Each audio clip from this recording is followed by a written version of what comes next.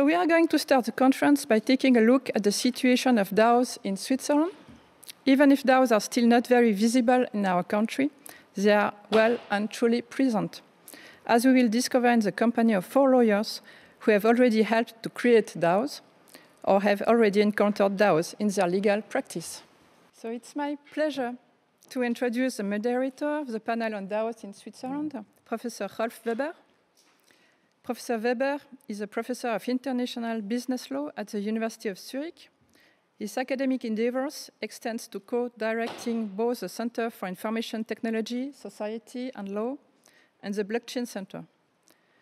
Beyond academia, Professor Weber holds the position of an attorney at law in Zurich, offering advice in areas ranging from international trade and finance and antitrust law to the intricate world of internet and blockchain. He's the author of numerous publications in these fields. He's also an arbitrator and a board member for the Swiss Blockchain Federation. Furthermore, Professor Weber was expert at the Swiss government for the new Distributed Ledger Technology Act, the so-called Swiss DLT Act. With such extensive experience, we are indeed fortunate to have Professor Weber steer our discussion today. Rolf, I thank you very much for agreeing to moderate this panel. The floor is yours.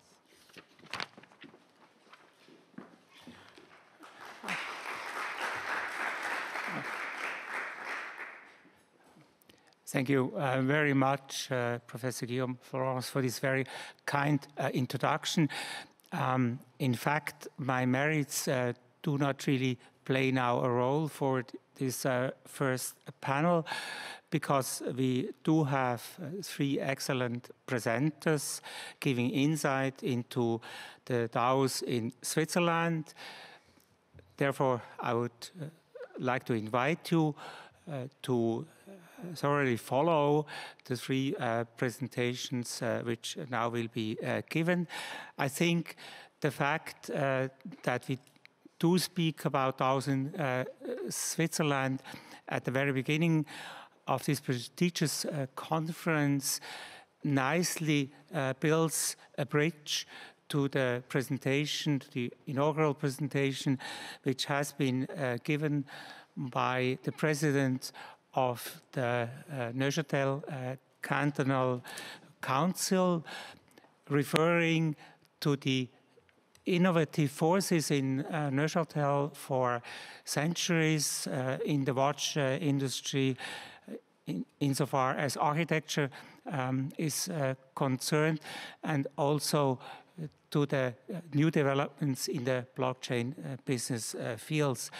Switzerland always including the financial markets, has tried to be innovative, to offer a good environment for uh, new uh, businesses.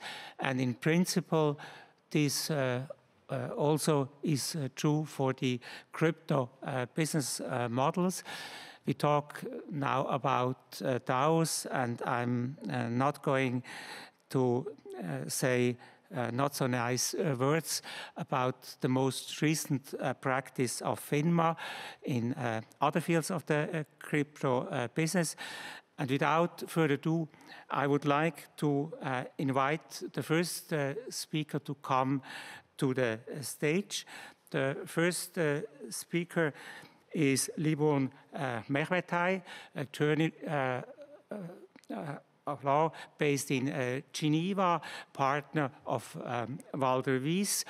Uh, uh, uh, Mehmetaj, welcome, has experience the education at the University of uh, Fribourg, so relatively uh, close to Neuchâtel, and then uh, got an LLM from University of California, Los Angeles. His practice primarily revolves around regulatory aspects in banking and finance law, with a strong emphasis on blockchain uh, technologies and uh, very obviously he offers uh, his uh, legal advice to uh, crypto oriented firms. Let me make the additional remark that we do have three presentations, and in order to save time for all three speakers, I would like to invite you to note down your questions which you do have to this uh, first presentation and then we do have another 15, maybe even 20 minutes for discussion at the end. So uh, the floor um, is uh, yours uh, for the presentation, why DAOs decide to be in Switzerland. Thank you very much.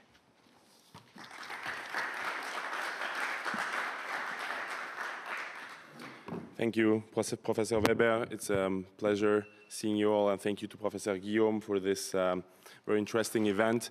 So, I work as a lawyer, um, but today is not really a legal topic, or it is a, a, little bit for me. But lawyers also do pitches and promote Switzerland. That's what we do all the time. Our clients come to see us, and they say, well, why should we come to Switzerland? So uh, this meme that you see here has been sent to me by a client. Um, he told me, why Switzerland? Why not Wyoming? What should we do? And, and that's uh, I, where I got the inspiration for this presentation because I really had to pitch Switzerland.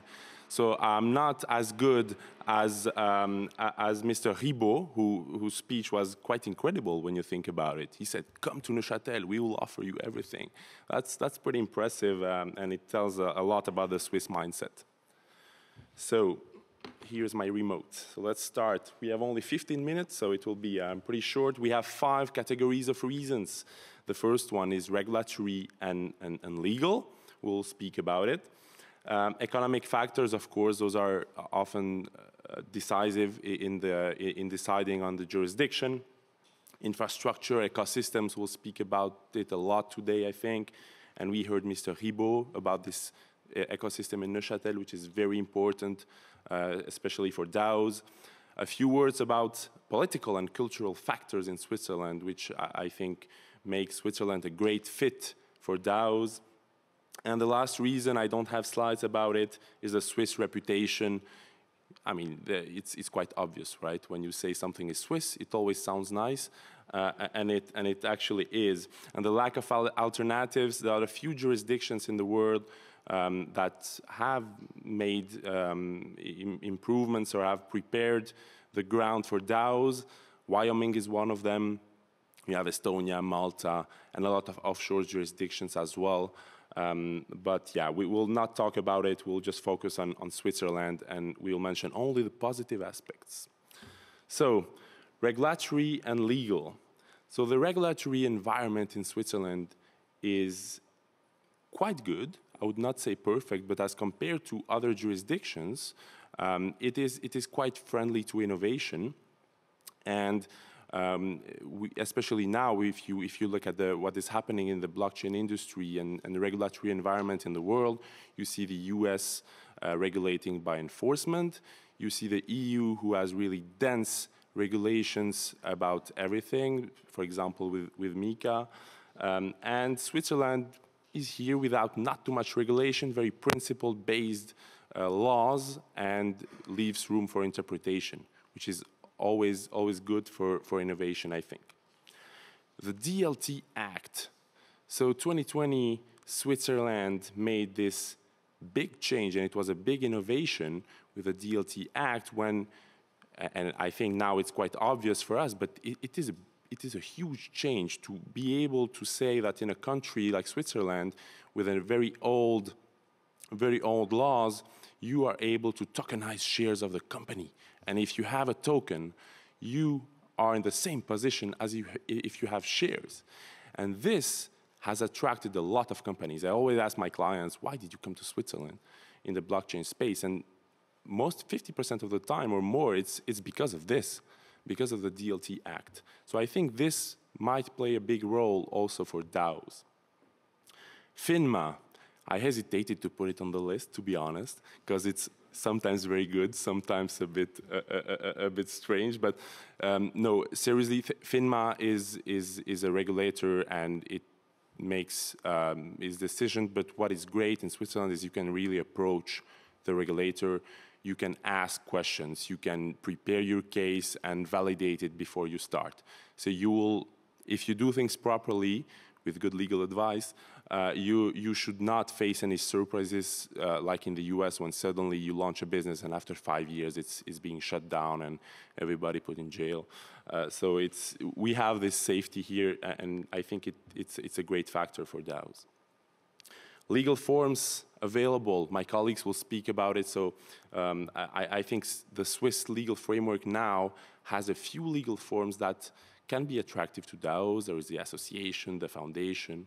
We even have some leeway for certain form of DAOs in, the, in, in our corporate structures, uh, which is still being explored right now. But I think the current legal fr framework is interesting, uh, and we will talk, I think, tomorrow um, uh, uh about whether we, we need some changes in, the, in Swiss law to develop DAOs more.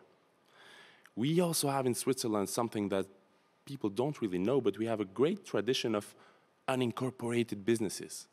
I mean, we have firms in Switzerland, for example, law firms with 500 or more employees in Switzerland who are not incorporated, who are not registered in the Swiss Commercial Register, and that operates freely without any problems. So just that, in, in, if you look at the tradition, if, if, you say it's possible to, to build such structures uh, without any incorporation, well, it's, it's pretty much a good sign for DAOs. Uh, no physical presence requirements as compared to, to, to certain jurisdictions when you really need substance, you need to have people on the ground. In Switzerland, it's quite easy to operate without uh, real presence. So you, you need to have some corporate directors here, but except from that, you can, you can operate a business and just register it in Switzerland, and that's what actually most people do, even startups um, in Switzerland. And last aspects, legal security uh, and principle-based legislation, I already mentioned that, but if you look at Swiss law, everything is principle-based. So we have these big principles and the details we leave it to interpretation. And that, uh, th that is, a, is a key factor, especially for new forms or, or for innovation like, like DAOs. Legal security, of course, is not yet there for DAOs. I mean, uh, we all have read um, the, the, the, excellent research made namely by, by the LexTech uh, Institute. We are starting to have some clarifications, but we are not there yet. But thanks to the, to, to the Swiss principle-based system, we are able to operate and DAOs are already able uh, to come to Switzerland and, and, and create their structures. Economic factors, low taxes, even in Neuchâtel, yes, um, taxes are pretty low as compared to other jurisdictions, which is always a very important factor. And it was mentioned earlier as well uh, by Professor Guillaume, tax predictability. If you come to Switzerland, you go and you speak with the lawyers, they prepare a tax ruling. That's always how it works. And you go and you can speak to the tax administration. You can negotiate. You can say, this is tax, this is not. Uh, you can discuss everything and then have predictability, which is really important. And with many crypto companies in, in Switzerland or, or active in the blockchain space, um, tax authorities actually understand the business. It's not always easy, you have to explain to them a lot of things, but they still understand and you're able to, to, to navigate through those very complex rules and to reach outcomes which are um, quite, quite good and acceptable for, for clients. Then flexible cross-border services as well. A lot of companies are created in Switzerland. You are able to operate from Switzerland anywhere in the world. We don't have restrictions like other countries um, on, on cross-border services. There are only a few of them. Stable economy, that's obvious as well, but if you want to operate uh, any, any type of, of business or project, you need a stable economy, and Switzerland has one. I think that's um, that's what I think, even if we do bank, bank mergers on Sundays, otherwise it's, it's quite stable. Um, Business-friendly environment, you heard Mr. Ribaux, I, I, think his speech was quite incredible. Uh, it, it, he tells us, like, come, come with your DAO, come to Neuchâtel, come here. And this is, this is quite rare in the international space when you have politicians that say, just come here, you, you are welcome especially in the crypto space, it's or blockchain space, it's it's quite impressive, and and this is something which is really good, I think, and a good argument. Infrastructure. you have service providers, you have a real ecosystem that will benefit DAOs and, and blockchain companies. You have good lawyers here in the room, you have accountant, you have corporate directors, you have banks, you name it. Everybody here does blockchain. Um, the state, if you look at cantonal authorities like Neuchâtel, you see how open they are. And I think this plays a big role uh, in deciding where to come. There are other players as well. I mean, DAOs, if they, they see that there are other DAOs in Switzerland or Neuchâtel or Geneva or Zug, um, they will say, well, these guys uh, have probably made a good decision. So it will attract other DAOs as well. Stable coins. I don't know if you, if you know that, but this year, two stable coins have been issued in Switzerland, approved by FINMA. So this is, this is quite huge, and I think that's one of the first one in the world where a regulator has approved stablecoin. So we are able uh, to prepare the next steps that are really needed for DAOs is to be able to, to, to do the payment parts as well and to bridge the gap between DAOs and the real world. So stablecoins are really key, and I think Switzerland is really playing a, a big role now. Uh, not a lot of people talk about it, but it's, it's, to me, it's, it's a small revolution. Tokenization as well. I spoke about the DLT Act. In Switzerland, the mindset is really tokenize the world. We are tokenizing everything. Um, and we have actors who, who actually are specialized in that, uh, which is quite unique, I think, uh, internationally. And this also is key to DAOs, the DAOs that want to interact with the real world. You need tokenization for transfer of assets, and you need the payment part, and this is only done with, uh, with, stable coins. Banking infrastructure in Switzerland, I mean, we all know that it is pretty strong and we have banks that are crypto friendly. Uh, they are not always easy to find, um, but they are. They, they, are here and they operate and, uh, in, in, in Neuchâtel, in Geneva, Zug, Zurich, etc. The crypto hubs, you all know them. Neuchâtel, the biggest one, then Geneva, and a little one named Zug. I don't know if you know it. Um, but here you have really networks of, of companies, of service providers, of other firms, and this attracts, of course, new companies. Startup scene is really vibrant as well. Switzerland is not good to finance startups, but to create startups is, is one of the, the best ones. And in the last two minutes that I have, let's talk a bit about political and culture, cultural factors. Switzerland is home to democracy and we have a very unique democratic system, very horizontal, right? If you are not happy with a decision of the government or a law, you can just challenge it and everybody votes and then you have a smart contract that includes that in the constitution. Um, almost that. But to me, the system, the core system of DAOs, the philosophy around it, makes Switzerland a great fit for that because it's in the Swiss DNA to have this horizontality.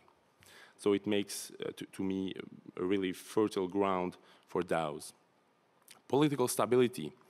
Uh, in Switzerland, we are, um, we are quite boring in terms of politics, which is great for business, right? Because nothing happens. Um, always the, the, the, same parties are there, so very stable, no surprises. Uh, geopolitically, it's a bit the same. We are invaded by startups, but not by foreign military forces which also is a great thing for business. And then we have this, uh, and this principle, the technology neutral principle, is not really included anywhere in the laws, I think, um, but it's something that is commonly accepted now. In all new laws, in all regulations, we always see that technology neutral. That means that if you come with an innovation, well, you shouldn't be punished just because you're using a new technology. So same business, same rules, even if you use technology. And then um, eventually the privacy culture. We are a country for, and we hope it stays like that, but we will see because there are some legislative changes being, uh, being planned. Privacy, you can have a company in Switzerland and nobody knows that you're the owner, right? It seems like simple, but it's quite unique. uh, and everywhere in EU or, or, in other countries, it's, it's being changed. And the AG, the SA, Société Anonyme, means literally anonymous company, right? So it's, it, I hope it's there to stay because this, um, the, for a lot of people active in the blockchain industry or in international business, this is a really important point. And we hope that, that this remains. So yeah, I think uh, uh, it's yeah 15 minutes. I'm here for questions after uh, this conference. I'm here all day and tomorrow, so happy uh, to take your questions and discuss after that. Thank you very much.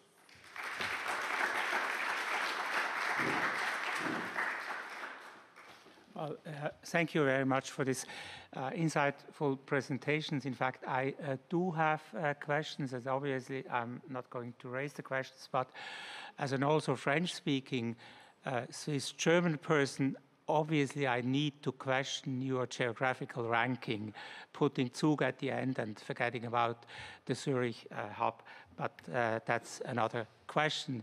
I would like to move now to uh, the second uh, speaker, and I kindly ask Florian Ducommun to come to the uh, stage. Uh, Florian Ducommun got his education at the University of Lausanne, and then he received an LLM degree at McGill in Montreal, uh, Canada. His doctoral thesis was on open license, open licenses, and he continued this uh, type of uh, study also in Montreal. In the meantime, uh, Florian Ducommun is an attorney uh, practicing um, in uh, the Lake of Geneva area. He is a partner of uh, Bonnard Lawson International Law Firm, having offices more or less around the world. And after we got the introduction into DAO's uh, environment in uh, Switzerland. We are going to hear more about governance uh, in DAOs, about regulatory uh, framework. The floor is yours. Thank you very much.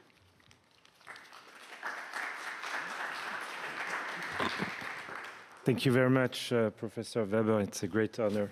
Thank you very much also, uh, Professor Guillaume and Dr. Riva for the invitation. Uh, really glad to be here today. And actually today, um, I'm going to talk to you more about on-chain governance than about DAOs. I'm going to speak to you more about frameworks than about DAOs. So let's, let's look at, at what, what we are go going to go through today. Uh, regulatory framework, compliance framework, corporate framework and distribution distributed governance framework.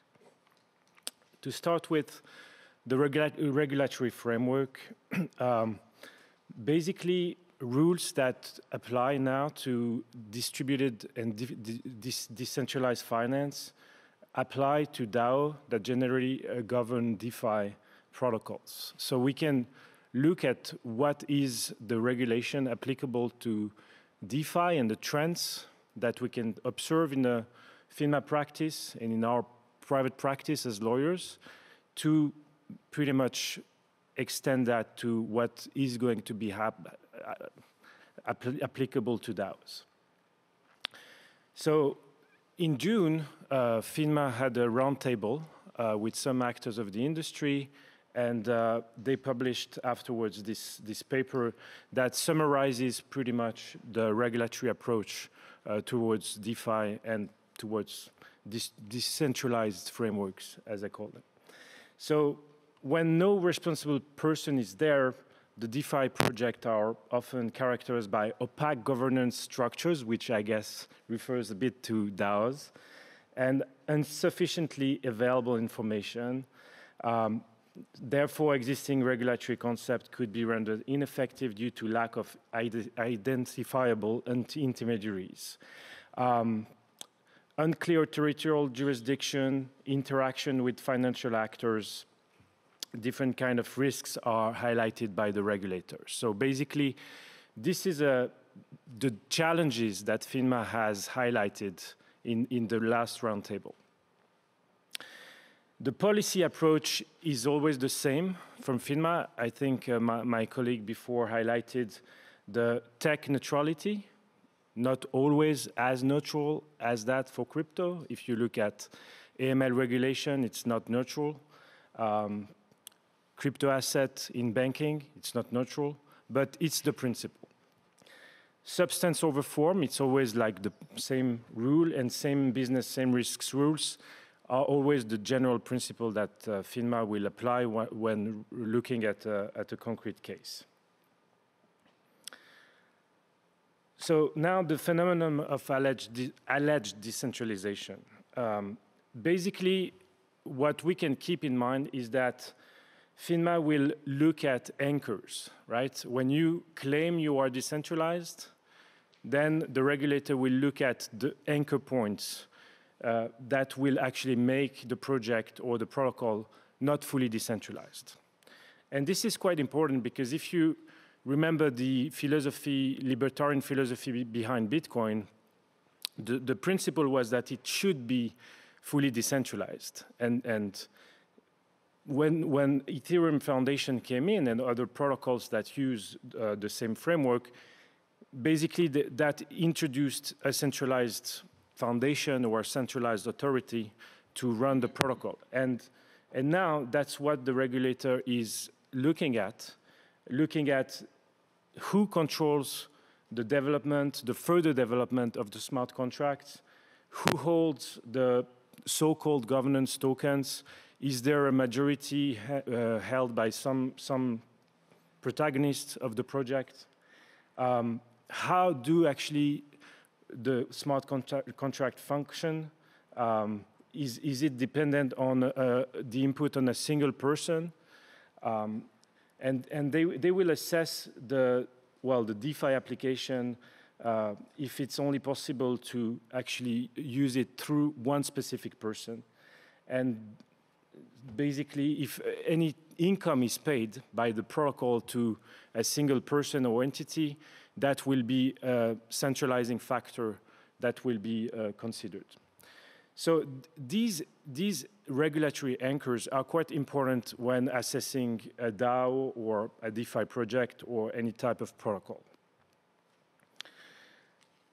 Then if, if there's a central, centralizing factor, uh, the regulator will apply basically the same type of approach that it would apply to a regulated business. Uh, clarification and information uh, are going to be requested by the, the project or the institutions that run the project or the people running the project. Um, and then if there's an application, an authorization required, they will need to apply. Um, they will need to go through an in-depth analysis uh, in terms of prudential status and uh, to, to carry out a regulatory analysis of the DeFi application in the targeted market.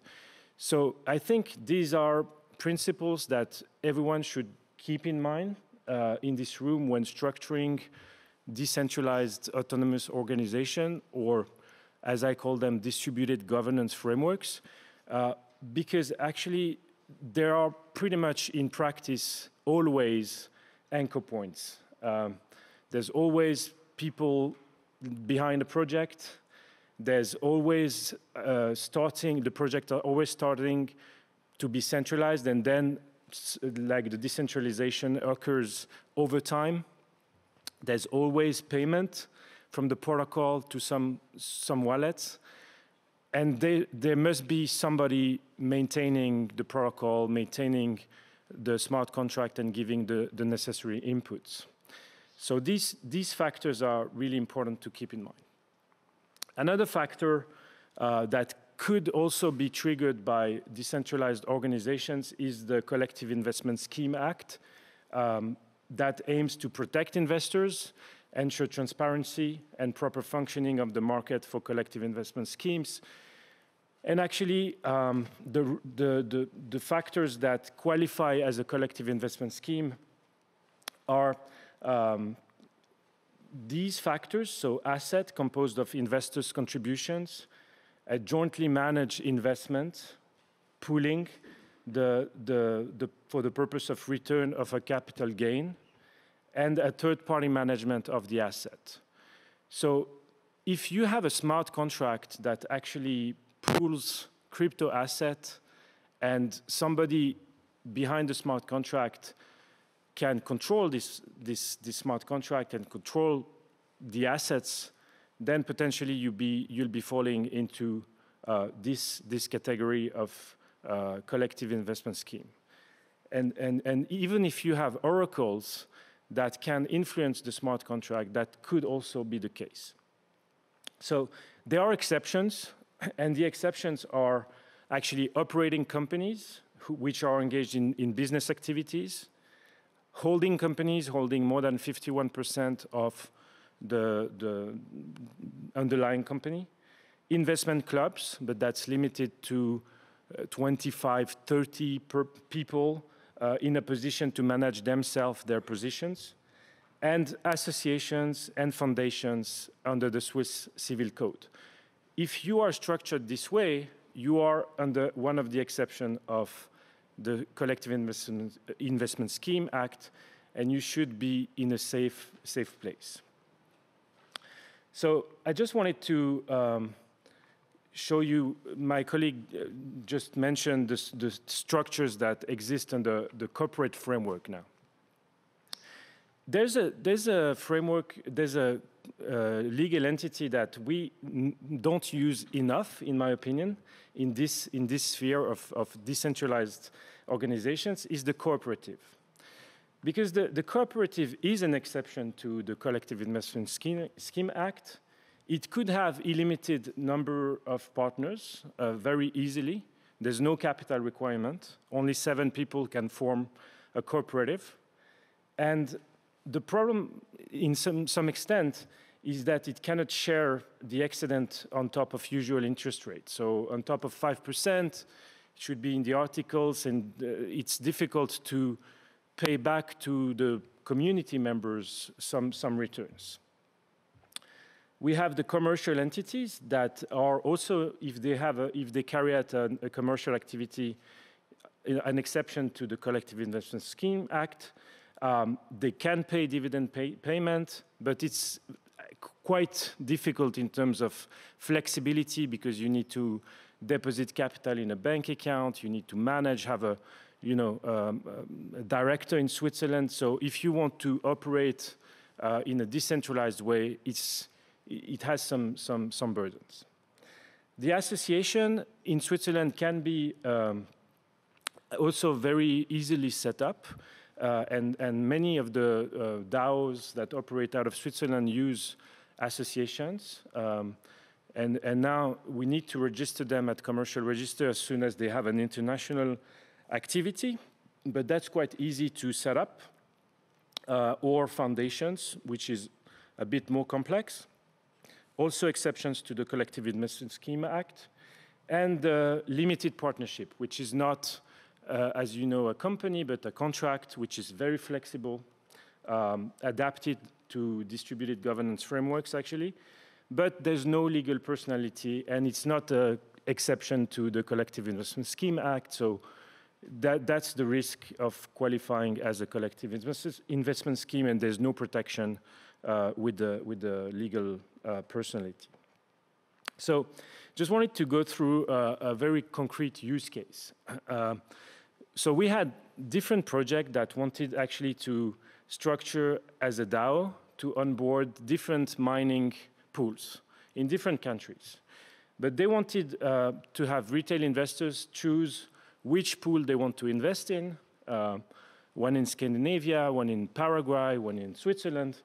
Uh, Switzerland, with the price of energy, was not the best one, but so the returns are different. And uh, they didn't want to structure that as a company, they wanted to structure that as a DAO. So, and also they wanted to reward the people investing using the Bitcoin mined to reward them based also on the profit depending on the energy price. So in your opinion, how do we structure uh, this, this, this DAO? Because if we go for a, a limited company it's, it's too heavy. Um, we need to have one company in each country, a limited company in Switzerland. It should be an operating company. That, that's possible. That's really like organizing mining as an industry. Uh, but then we need to have a, a, like the hash rate in the Swiss company to, to make it really like the, the, the commercial entity with an activity, not just a, an investment vehicle. If we go for um, cooperative, which was actually quite, in my opinion, a good uh, structure, because you could have one cooperative for every type of, you know, uh, uh, mining pro project. The problem was that you could not pay more than 5% returns to the invest investors. So if, if mining pools generate much more, which is generally what they target, um, it was a blocking point. Um, limited partnership, that's also an option. It's very flexible, but there's no protection under the Collective Investment Scheme, Scheme Act. So this use case is just to show you that depending on, on which structure you, you choose, you always encounter risks and other challenges, right? So there's no, at, the, at this time, maybe after, after this these two days, you're going to come up with a new structure. But at the moment, each and every structure under Swiss law has some, some advantages and disadvantages, and some risks. Um, compliance framework. Generally, Web3 people claim that Web3 and DeFi are not in line with co compliance and AML. Basically, that's what we hear you can't actually make a framework available because people don't use it and won't be able to onboard on, on our protocol. And I think also here we should be quite cautious because you might be familiar with this Article 4 uh, of the Ordinance on Banking and on um, money laundering. Um, and actually, this, this article is quite broad um, because every time an, a financial intermediary assists in the transfer of virtual currencies to a third party, having a, a durable contractual relationship with this third party or with the client, then it could fall under the Anti-Money Laundering Act. And FINMA has a very broad approach and very broad interpretation of this clause. And this clause I mentioned is not technologically neutral because it applies to crypto assets, and actually, it's, um, it's, it's, it's, it's an innovation because it's, okay, sorry. Uh, it's an innovation because the, the regulator um, has interpreted this, this clause in a way that you don't need to have a power of disposal over the asset.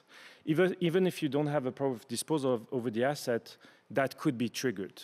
So that, that's to be, to be kept in mind when organizing uh, protocols. So ba basically, you should ask yourself, is making available an on-chain voting interface or a protocol assisting in the transfer of virtual asset to a third party?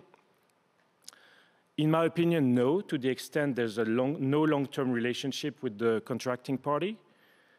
Potentially, if the organizers control the voting protocol by controlling the governance tokens or the smart contract that govern the, the, the, the, the protocol.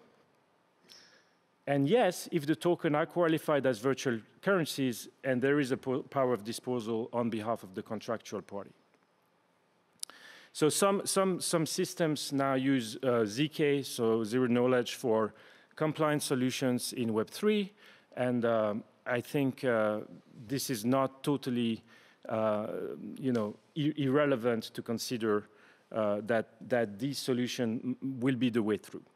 So let's go to the way forward. If you give me two minutes, uh, so you see there's this uh, regulation that looks at centralized factors. So the way forward, in my opinion, is that you need to have in structuring DAOs real distribution of power no DINO, so decentralized in a name only. Um, no control over the underlying asset or the uh, liquidity pools, a proper distribution of uh, private keys, proper distribution of oracles, on-chain votes, and rewards of votes in token to incentivize participation to the, the, the members. And that leads me to this transition from DAO to distributed governance framework because we don't want to be decentralized, we want to be distributed um, because it's not autonomous, it's on-chain governance, uh, it's not working by its own, it's on-chain governance.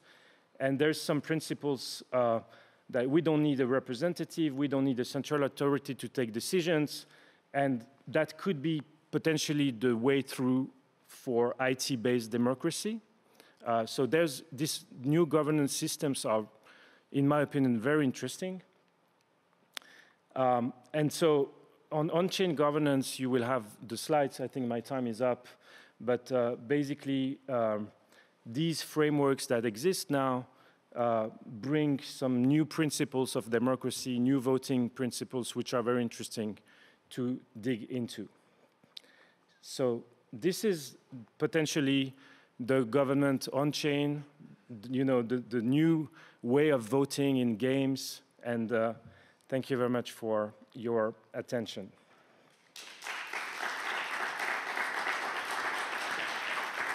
Sorry for being too Thank you very much uh, for the interesting presentation, which has added a lot of new aspects to the discussion. Uh, partly there were also references to phenomena which have been mentioned in the first presentation, like technological uh, neutrality. But without further ado, I would like to call the third uh, speaker uh, to the stage. The third uh, speaker is uh, Michael uh, Kunz. Michael Kunz uh, got his law degree from the University of uh, Zurich, uh, and he's now partner uh, at MME Zurich, a law firm quite well known in the uh, crypto business uh, scene. Michael Kunz has become a partner of MME in 2017 and focuses his uh, practice uh, on uh, crypto business models, on tokenization aspects, uh, on DAOs, and I guess we will learn now how to do it, how can we establish a DAO, since you do have a lot of experience in this field. The floor is yours. Thank you very much. Yeah, thank you very much, Professor Weber, for the kind introduction. Um, it's a true honor to be here today, and I, I say that for a particular reason. I, I met actually Sven Ribaux, I think it was one and a half years ago in Zurich, when Sven uh, gave a presentation on his PhD thesis on DAOs, I think it was, and even though I was working at that time already with a few DAOs, it was extremely inspiring to me because I left and I thought, wow, I realized uh, there's so much I have to learn, and um, I'm really excited to be here today hoping you know, to give you an insight on the practice that we have established in family with our clients, and to be a little bit of the inspiration to you guys that Sven was for me one and a half years ago. So working with MME, as uh, Professor Weber has mentioned, has really allowed me to uh, work with some astounding projects. And as many of you may know, we have, or our team has helped up the Ethereum team to establish the foundation in 2014 in Zug. Um, also organized the first uh, ICO ever in 2015, and this obviously led a lot of projects to come to Switzerland and also to our doors. And um, I think, you know, we really have a, a, very broad, you know, customer base, but I think for the purpose of this presentation here, a few projects that we've worked on that have been very interesting in this context are Bancor, which has um, launched the very first automated market maker and has a DAO. We have, uh, we're working with Curve, which is famously operated by the Curve DAO with one inch, a DeFi aggregator that um, also has um, its own governance token. And, and so when we started working with DAOs more often, it was funny because they came to us and usually came with two points, they said. They said, first, we need a uh, legal wrapper. Second, they said, we need a foundation. And it's interesting because the first part really was, okay, I get it, because the, the, the legal wrapper was really floating around everywhere because people realized at one point that maybe it's not so safe after all to participate in DAOs because maybe you're going to end up being, you know, liable for some of the DAO's decisions. And the other thing was more surprising because um, I always thought that the crypto community is extremely um, innovative when it comes to products, but it has shown that they're not as innovative when it comes to corporate or structuring solutions. So since Ethereum has chosen a foundation and Maker has chosen a foundation, or better, a foundation company, um, you know, everybody says that's what we want to do because we want to actually walk in the same paths that others have already um, created for us. So um, my colleague has uh, already mentioned a few of the legal um, solutions or corporate solutions we have. I'm going to keep this very short. So in my view, I mean, I don't have the cooperative here because we haven't really worked with cooperatives much, but it's really a choice between a commercial setup, a corporate setup, where we're going to have a limited company on LLC, or you choose a foundation or an association. And so they have very different purposes. So the corporate setup really is used when you want to have when you distribute dividends, because that's really the only setup in which you can do so. Um, and therefore really used for you know, infrastructure projects, maybe some you know, dApps um, that don't really want to have uh, a big um, owner, ownership in their company. Foundations are very often chosen for layer one protocols because you give a promise to the users that if you develop on my protocol, I'm going to still be around in 10 years, and I'm going to use all the money you give me now to make sure that it's only used for that purpose. So people don't buy Lamborghinis or other things. And last but not least, we have the association. I'm going to focus my presentation later on a bit on the association because I do think it's a perfect setup or a perfect tool for many DAOs, as um, Florian mentioned before. Now, when we work with our clients, we usually, we realize very early on that there's kind of like these three archetypes of relationships because everybody said legal wrapper, but what we realized is they're not really wrapping anything. In contrast, what you actually have, you have a DAO and you have a legal entity. And so the question is always, how are they related? What's the relationship between them? And so we realized that um, the first setup, as we call social signaling, is probably the most common one. You have a legal entity, a project that um, raises funds, and then over time wants to decentralize. So they release their governance token, and they tell members, this protocol is now yours, vote on it, make proposals, and we're going to implement.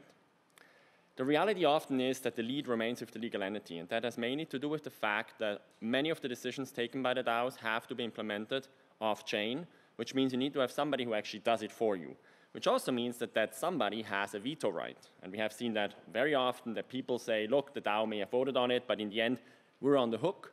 The SEC is going to go after us. We're not going to do this.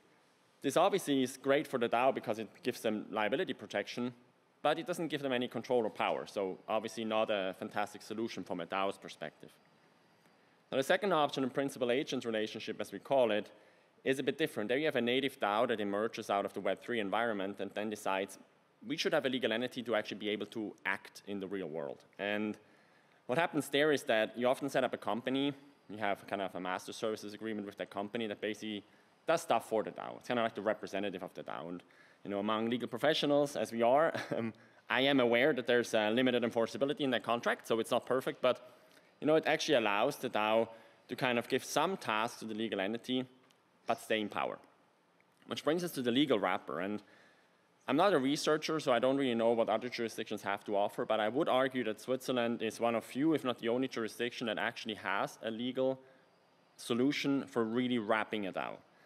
And the reason why that is, is because in the other setups you see in the visualization, you actually have always this relationship, right? And the legal wrapper, you don't really have it because the, the, uh, the DAO itself is wrapped by the association. And the good thing about this is that actually it combines the best of both worlds, right? On the one hand, you do have the liability protection for the members because they actually have voting power. Well, no, actually. So they have voting power, they are in control, and they're also protected because the company shields um, the DAO members towards the outside.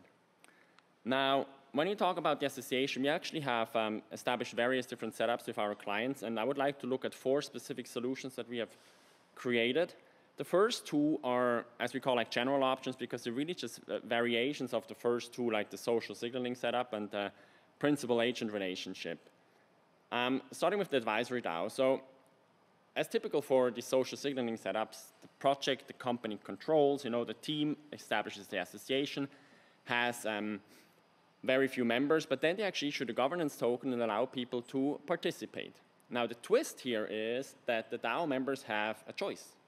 They can either just vote, as they used before, as you do in almost every other DAO, but they can also join the association. And the benefit of that is that you can actually catch the, um, the active members of the community, which is important because we do hear a lot about governance fatigue by a lot of DAOs. Very few people are actually active. But those that are active are the ones you don't want to be frustrated. So you actually want to get them on board. So this allows you to have a small team that is actually in the lead, and you can actually get those you know, talented minds that you meet in, in, the, in, the, in the ecosystem and um, don't limit the ownership or basically control to the founding members. Um, we do believe that that's a great solution for um, companies that want to increase community engagement and actually allow people to join the team. The principal DAO, on the other hand, is um, as the principal-agent relationship suggests, it's the, the DAO is in the lead and actually enters into, a, so it establishes an association and um, then has this agreement with the association, hands over certain tasks to the association. And that's a very common setup when you say, you know, we want to have a bank account, we maybe want to have, you know, engage developers, we want them to be, like the developers to be able to have VAT compliant invoicing. But the difference here, again, the twist is that the DAO members, they cannot only um, vote on the DAO. Also there, they can join the association as a service provider and actually participate there as well. Now granted, that's only really interesting if the association has some discretionary power. But we see that often um, that these legal entities, they're not just used to funnel money, which would also be an AML concern, but they actually have discretion as to who they want to hire and what they want to do and who they want to give grants to. And, um, and so therefore, it's often in the interest of the DAO members to say, I don't want to just vote on chain. I also want to be in the meetings, you know, when, when the other stuff is being discussed. And I think it's actually really recommended for two project types. So first of all, those who have a service provider with a lot of discretion and actually say, look, it's not going away the power. You can join them, right? If you want to participate there too, you can. And the other thing which I think is very interesting is that it actually allows the solution for DAOs that want to you know, dissolve gradually over time. And we've seen it in the past that basically these DAOs kind of merge into the association over time, and in the end, what you have is just the association. Which brings me to the other two more specific options. And these two you can only do with the association. And the reason is because the association, as I said, is the only entity that actually wraps the DAO. And so basically how you can do this is you can, on the one hand, you can say the DAO is going to be a body of the association, or you can say the, the DAO and the association should actually be one and the same. Now the first option is really um, chosen by projects that say, look, we really want to give our DAO members a good feeling about liability, but we also want to give them true governance and control over certain aspects of the project.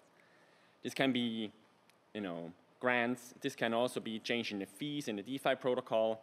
Um, and it really is not anymore vetoed by the, by the association itself. Now, how does this work? So the project team establishes the association. It um, introduces then the DAO, it, it, releases a governance token, introduces the, the DAO as a body in the association, which the association can do. So the association has uh, the, the members, basically the General Assembly, as a mandatory body. It has a board as a mandatory body, and you can have all other bodies at once. And so one of the options would be the DAO, and then basically you can say the DAO really remains legally separated from the legal entity, even though it's wrapped. So the DAO has its own area of responsibility. It can organize itself. It can communicate the outcome of its votes. And if it's an on-chain activity, ideally it can execute as well. And the association remains externally liable for the activities of the body, which is essential we are aware that there are limitations you know, to that uh, protection, and obviously there's internal liability risks, but at least it allows them to be protected to a certain extent. And last but not least, I would like to talk a bit about the General Assembly DAO, which is really when you go all in. And the idea there really is to say, you know what, we actually want to have a DAO, and it should look like a DAO and work like a DAO, but it should be a legal entity. And how this works is that founding members establish the association, and um, but really draft the articles of, of, association in a way that the DAO is truly honored or kind of taken uh, in consideration. So the first thing you do is you replace the General Assembly that you normally have with the ballot initiative. There's something you can do. Then you basically make a full replacement and you say, we're not going to meet anymore physically in a center, but we actually move all governance on chain. So basically everything the General Assembly does in its activity is moved on chain. Now you wonder who executes. So to that end, you actually have not a board, ideally, because the board then again, you know, creates a bit more equal people that, you know, sit next to the DAO. But instead you hire an administrator that actually executes on a contractual relationship the decisions made by the association. Now one thing that is very important in that setup is how you treat token balances. Because we all heard about whales and about hostile takeovers, and a lot of our clients are afraid that people actually come in, buy up all the tokens, and they take control. So what we generally recommend here is you do have as a principle one person, one vote. This is not mandatory. If you have objectively justifiable reasons, you can actually deviate from that rule. And what we generally recommend is to use something called square root voting, where the voting number of votes is the square root of the tokens you hold. Um, but there's various other ways how you can do this.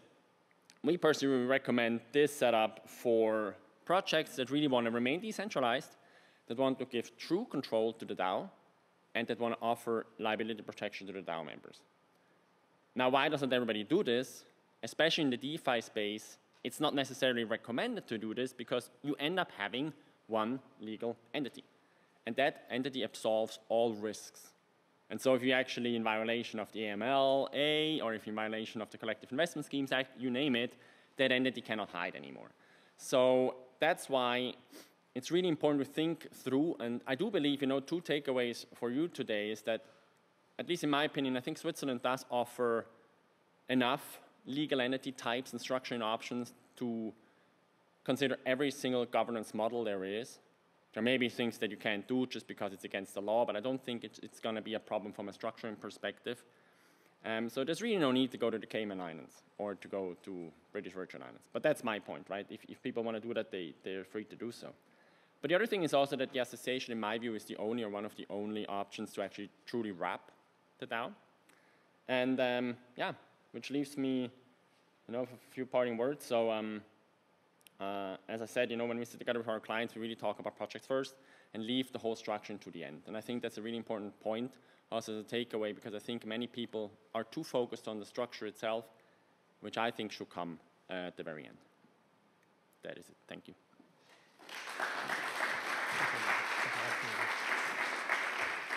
Thank you very much for this interesting uh, presentation.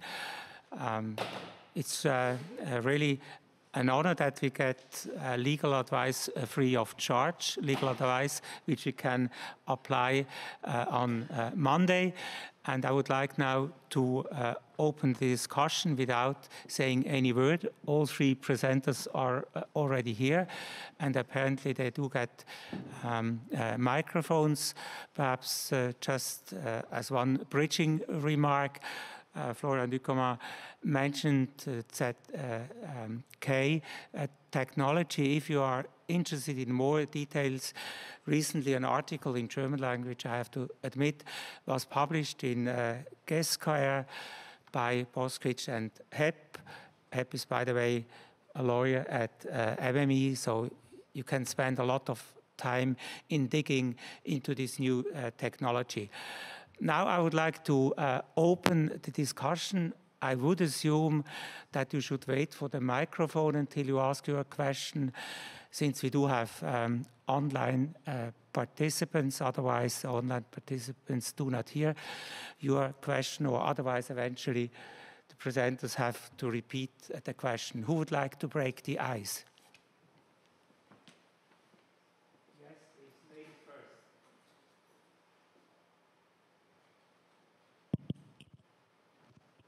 I'm Anja von Rosenstiel. Nice to meet you. Thank you very much for this very impressive uh, uh, presentations and run through the whole Swiss uh, yeah, regulatory and uh, private law landscape. So I was very intrigued by uh, pointing out the principles of um, technology neutral and same rules, same risks. And you uh, mentioned that between the lines that there's a discussion about staking and uh, aligning it to, to the uh, theme of DAO. Uh, so there is token distribution, seed capital, but the, the DAOs also need revenues, right? Um, so could you say something about these principles? Um, are they still upheld in Switzerland? Um, FINMA's approach, perhaps not into the details, but about staking and then how it could affect also the DAO landscape. Thank you.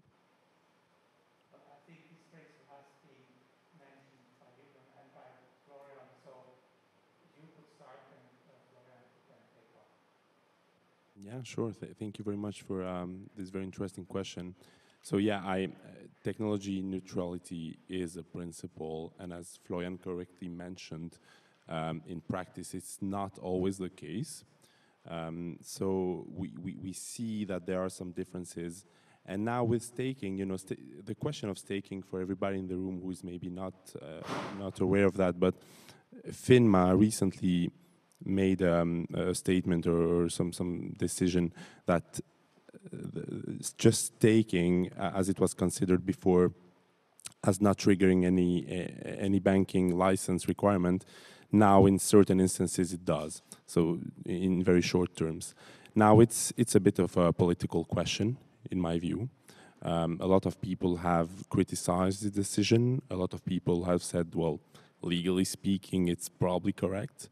Um, so I think there is not really um, a, a, miracle answer. We'll see if people challenge it. I've heard um, in the market that some people are trying to challenge it. So maybe in a few years we'll have a decision about it. But in the in the in the DAO space, it will certainly have in the DeFi, especially uh, DeFi space, it will have implications because basically, if you if you do staking and you fulfill all the requirements set out by FINMA, you are a bank. Uh, so and you cannot just operate like that. So it it will limit a, a little bit um, what what DAOs can do in in Switzerland, but it should be it shouldn't be overstated as well. I think there are still ways to navigate around it. Yeah, as far as uh, staking is concerned, um, there's staking and staking. If you stake in a node and you generate returns, rewards by participating to the consensus, this is something that is generally accepted as being a reward for participating to the security of the network, right? So this is not concerned by this new batch of uh, regulation. What is concerned, however, is more the staking pools operating in a centralized way, a staking pool, getting the rewards, and sharing that with the token holders, right? So again, it's always a matter of centralization the way through for me is to have decentralized staking pools, decentralizing the key. There's technology out there called distributed validation technology, and you can actually just change the paradigm of having regulators coming and regulating as a bank. And the same as I mentioned between Ethereum and Bitcoin, you just go back to the basics. You go into the decentralization uh, paradigm and and and that is a way through.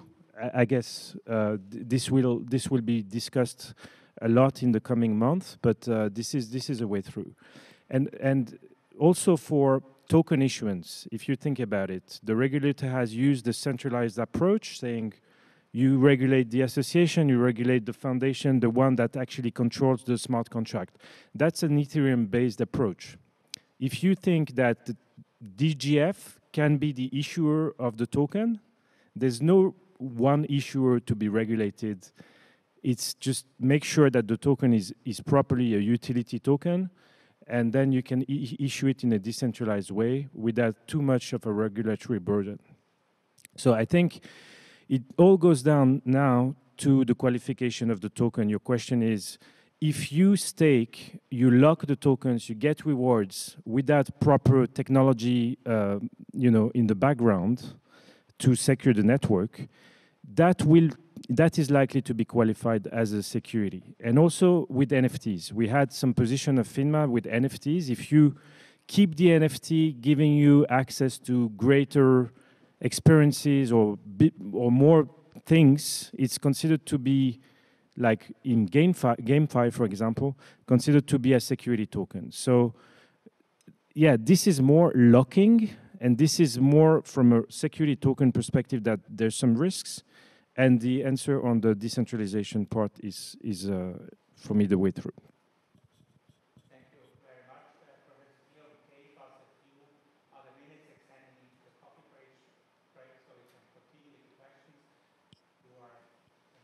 So I'm uh, Jeff Strnad uh, from Stanford, and I had a question about for Michael primarily, but also the other participants maybe.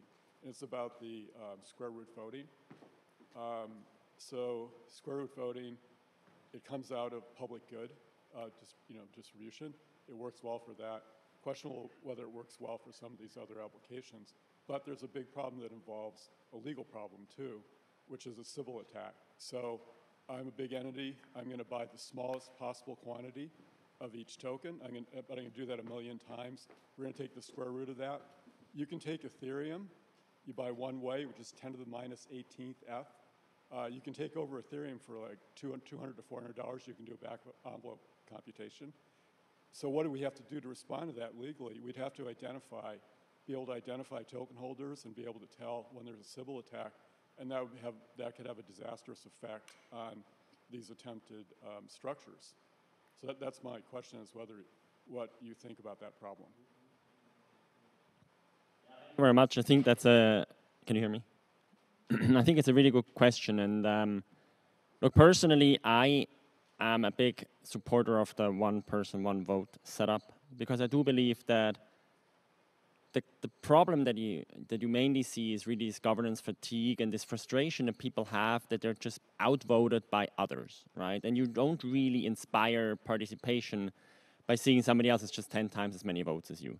And now the square root, you know, solution is is one solution that you can, in my view, and as you pointed out, only really employ when you actually have a certain control over the membership application process, and you do require members to identify to a certain extent. Um, but yeah, it's an absolutely fair point. If I just shortly, um, I think the the cooperative um, structure is by nature one person, one vote. So this is a structure for that that responds to to to this concern. And also, what I like with the cooperative structure is that by law, the the, the shares are not um, securities, right? It, it can't be. So you, you cannot wrap that into a, a, a, a security. So that, that could answer uh, one of the problem with Sybil attacks and, and, and things like that in terms of governance. But you, you need to make sure that the the value will be in the governance tokens and not in the proceeds, you know, as I mentioned in my example, because that doesn't fit. But if the value is in the governance token and the actual vote is one person, one vote, then that could make sense.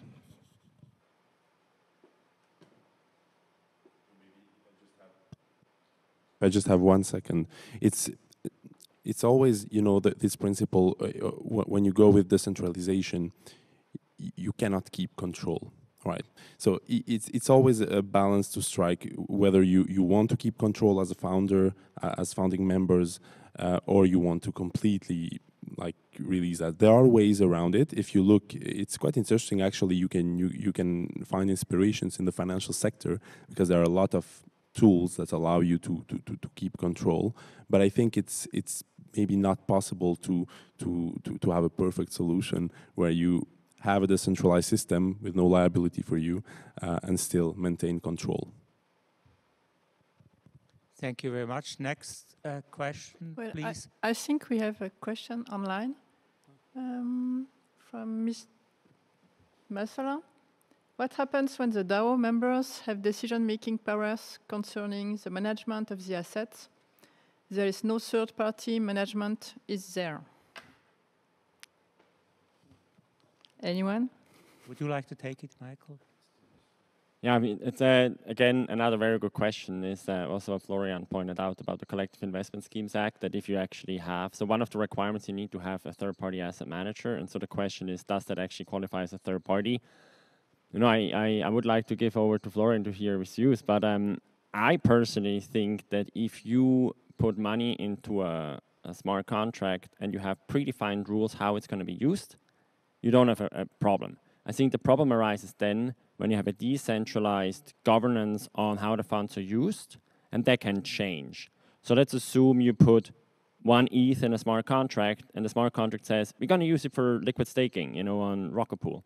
But then actually, you go to vacation, you come back and you realize, oh, there was a vote, you know, they changed how the money's used. And I think that's a really big problem. That is actually when the Collective Investment Schemes Act is triggered.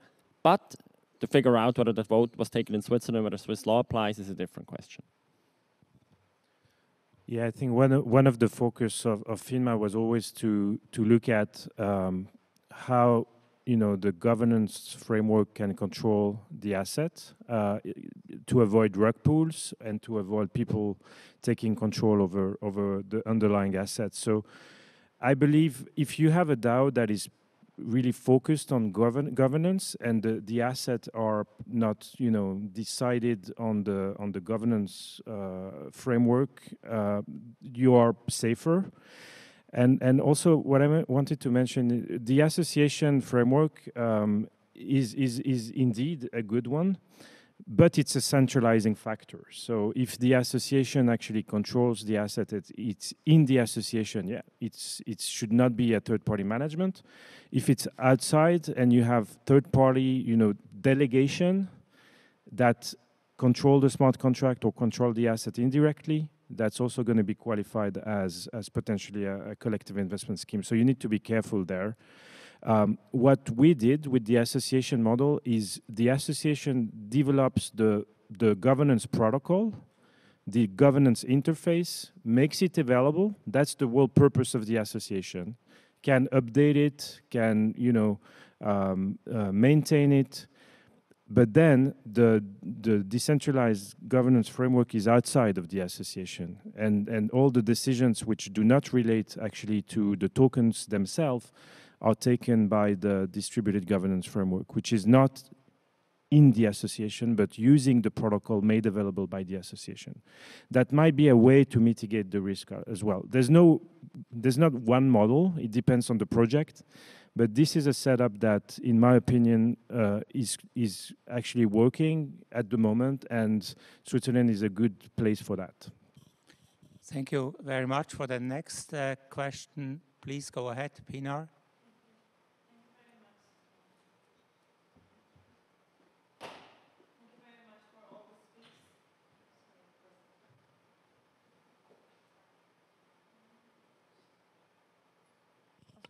Okay, thank you very much uh, for the speeches.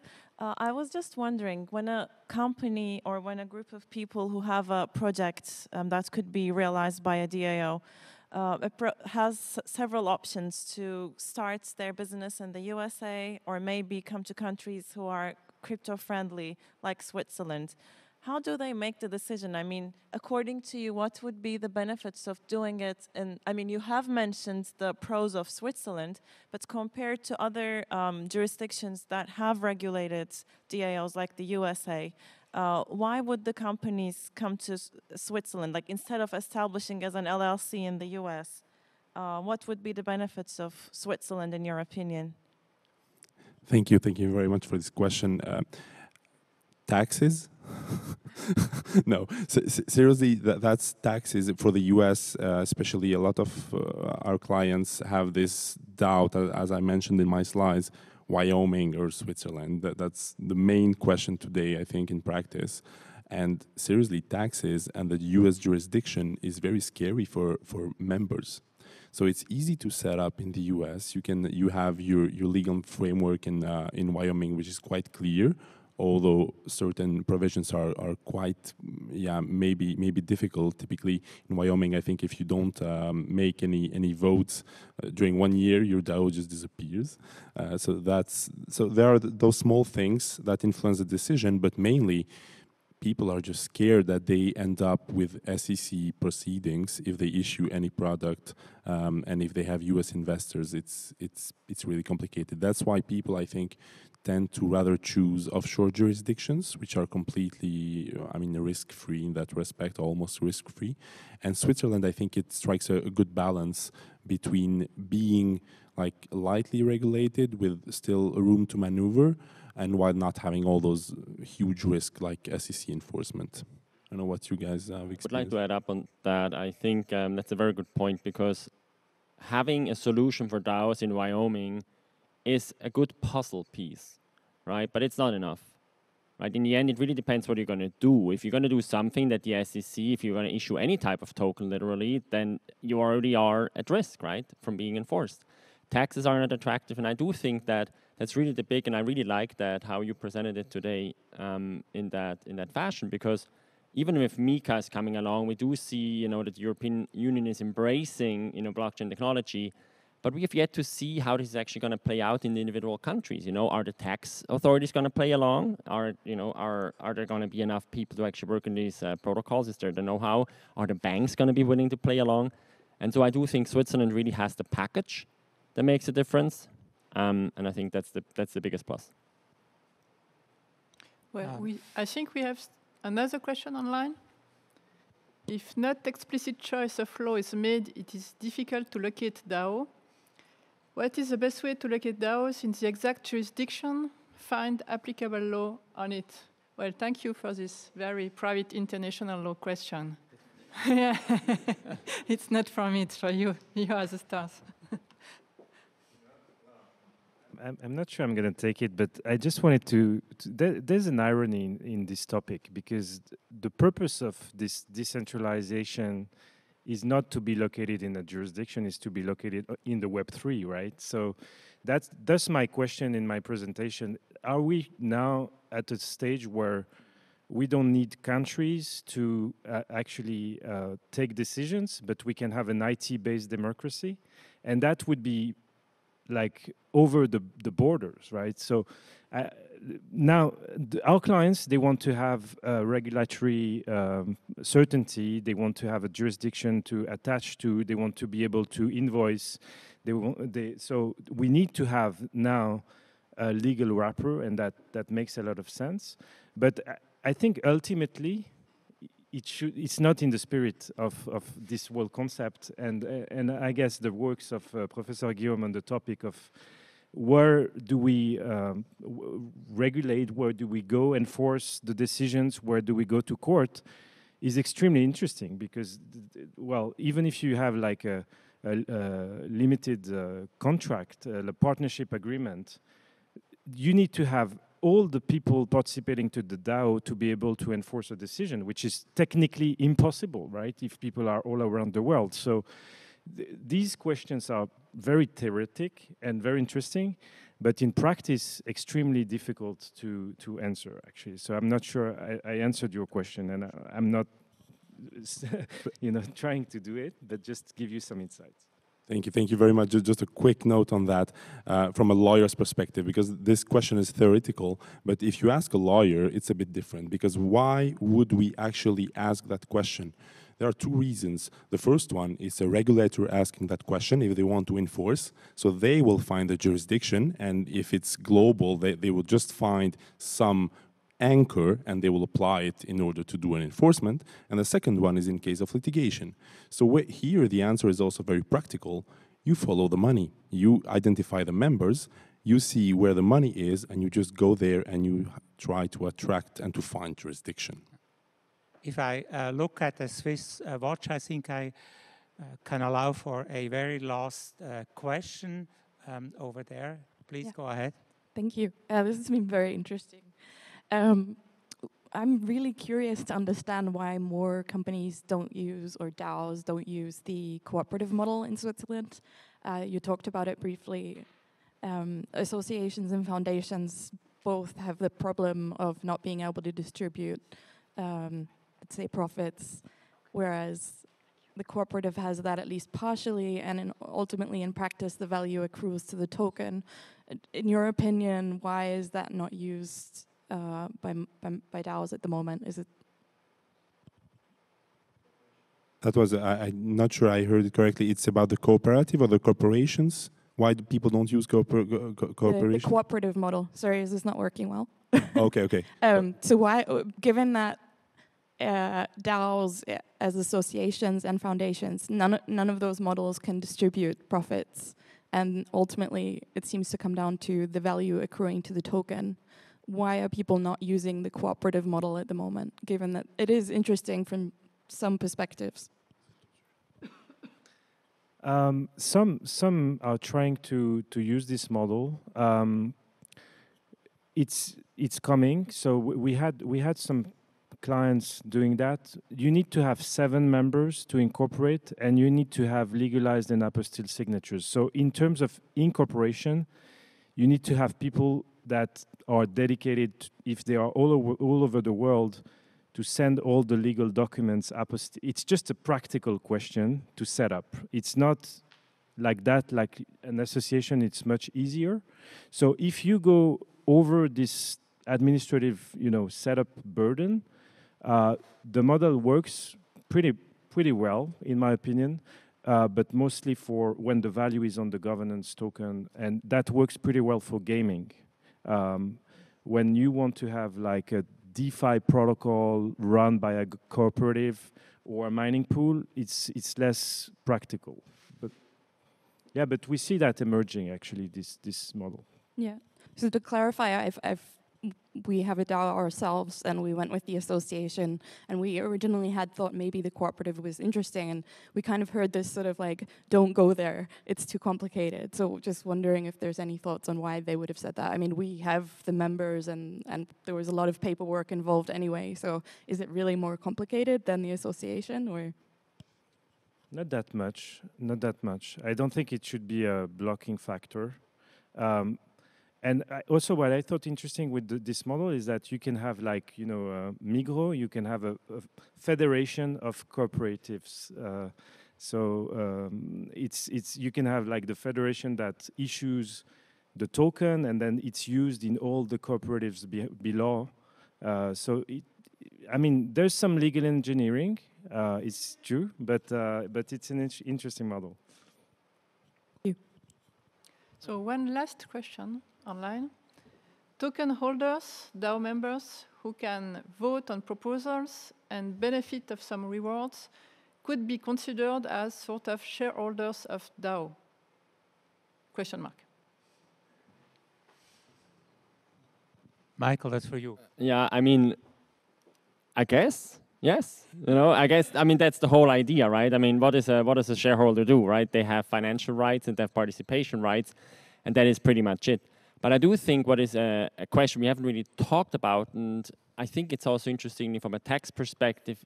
It surprised me that it hasn't arisen more often. Who owns the money, right? Who is actually the legal owner of you know the treasury assets?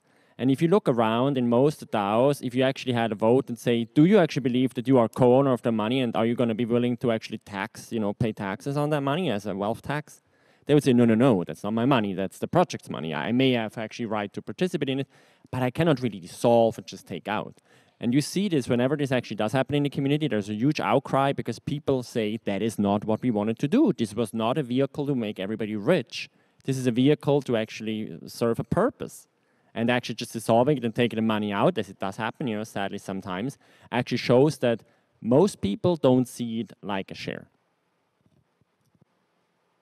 Personally, I don't know any uh, corporation that rewards shareholders for vo for voting at the general meeting. That's not something that is qualifying as a shareholder to be rewarded for voting. But in Web3, what we see emerging is more and more like having rewards for participating in the votes. And I think this is a great way to actually incentivize people to participate, to give their opinion. And that's also a loophole to reward without paying sharehold, shareholders or without having dividends payments. But tax-wise, I don't know how it qualifies. I'm not a tax lawyer. But the, the term shareholder could be a little bit dangerous because it brings shareholder close to the taxonomy of asset token. And I would rather recommend not to use the term shareholder. Just, um, just completing what we said. So in a corporation, it's even worse than in DAOs because shareholders are not uh, remunerated for voting they're remunerated for doing nothing, right? When you're a shareholder, you don't need to do anything and you receive dividends. Uh, so, so, so here at least we have a difference. But I just wanted to point out something that now I think in the next few months or years in Switzerland, we might, and that comes a bit um, uh, along your question um, around the cooperative, but I think corporate structures will see some DAO uh, features in the future. Now that we have, since, since this year, the possibility to do general assemblies completely online, we could see models, and I think people are working um, on it, and we might see new models, and maybe that, that will that will change a bit um, the, the, the Swiss landscape on that respect. Okay. Thank you uh, very much. despite this very interesting discussion, looking uh, at the watch, I need to close now this uh, session. I would like to thank you for the very active uh, participation leading to the result that I did not have the chance to ask any of my questions. But in particular, uh, I would like to close this session by a big round of applause to the uh, three outstanding presenters. Thank you very much, and please come.